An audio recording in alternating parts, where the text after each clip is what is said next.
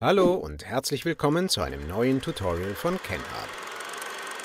Mein Name ist Kuko und in diesem Tutorial geht es um das Nervensystem.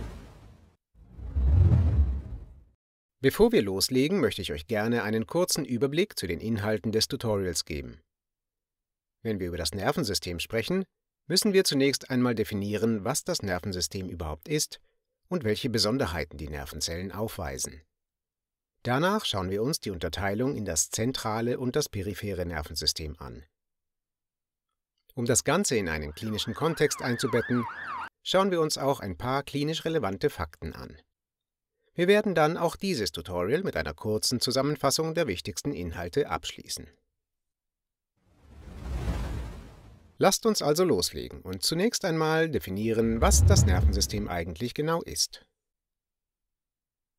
Es handelt sich bei diesem System um ein Netzwerk aus Nervenzellen und Fasern, das sich durch den gesamten Körper zieht. Auf diese Weise können Informationen in Form elektronischer Impulse durch den ganzen Körper geleitet werden.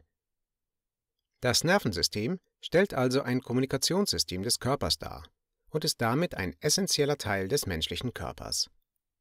Ohne die Nerven würden Informationen bzw. Reize nicht weitergeleitet werden und wir wären nicht in der Lage, uns zu bewegen, unsere Umwelt wahrzunehmen, auf sie zu reagieren, Emotionen zu fühlen oder Gedanken zu formen und Entscheidungen zu treffen.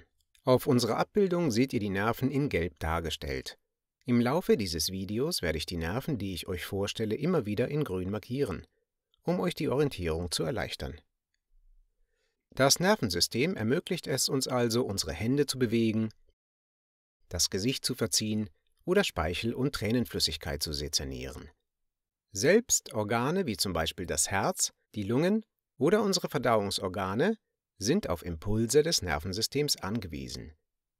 Diese vielfältigen Funktionen fordern ein komplexes Netzwerk an neuronalen Verbindungen. Ohne dieses System wären wir nicht überlebensfähig. Das Nervensystem besteht aus zwei Anteilen dem zentralen Nervensystem, das auch als ZNS abgekürzt wird, und dem peripheren Nervensystem, kurz PNS. Auf diese beiden Anteile gehe ich gleich noch etwas näher ein.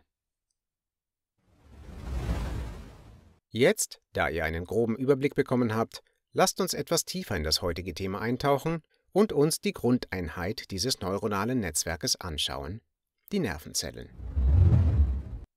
Hier habe ich eine Nervenzelle, ein sogenanntes Neuron dargestellt. Es ist charakterisiert durch ein Axon, einen Nervenzellkörper, der auch als Soma bezeichnet wird, und die Dendriten. Bei den Dendriten handelt es sich um baumartig verzweigte Fortsätze, die Signale in Richtung des Somas leiten. Das Axon hingegen dient der Weiterleitung der neuronalen Signale zu anderen Zellen. Dieses Video ist noch nicht zu Ende.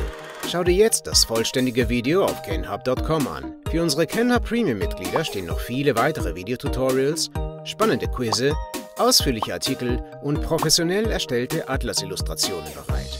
Also, klicke auf den Button in der Mitte, um das Video in voller Länge zu sehen und meistere die menschliche Anatomie.